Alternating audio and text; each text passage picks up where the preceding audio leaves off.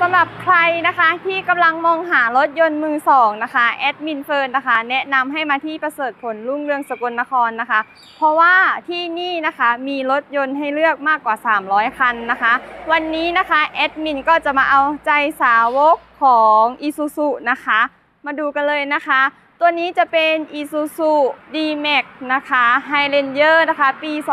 2019 ค่ะ ไฟหน้ารถแบบ LED นะคะ กระจังหน้ารถจะเป็นโครเมียมนะคะ ส่วน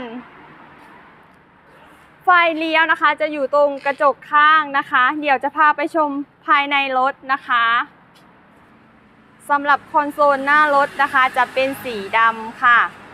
และตรงนี้นะคะก็จะเป็นถุงลมนิรภัยนะคะ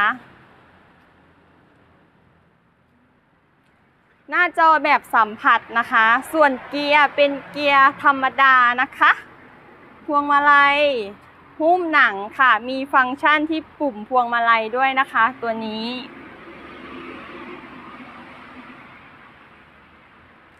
มาดูเบาะกันเลยค่ะ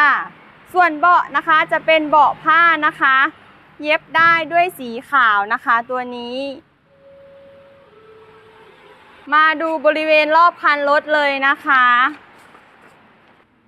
ส่วนด้านหลังของรถนะคะ จะมีกล้องให้ด้วยนะคะ อยู่ตรงนี้นะคะ กล้องกล้องมองหลังนะคะ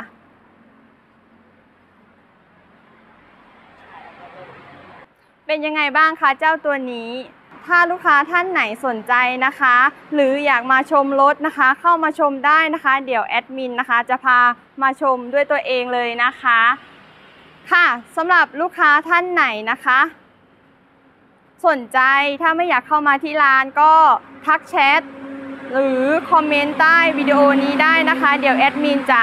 inbox กลับไปค่ะรถสวยรถดีคุ้มค่าคุ้มราคาต้องประเสริฐผลแล้วนะคะ ขอบคุณค่ะ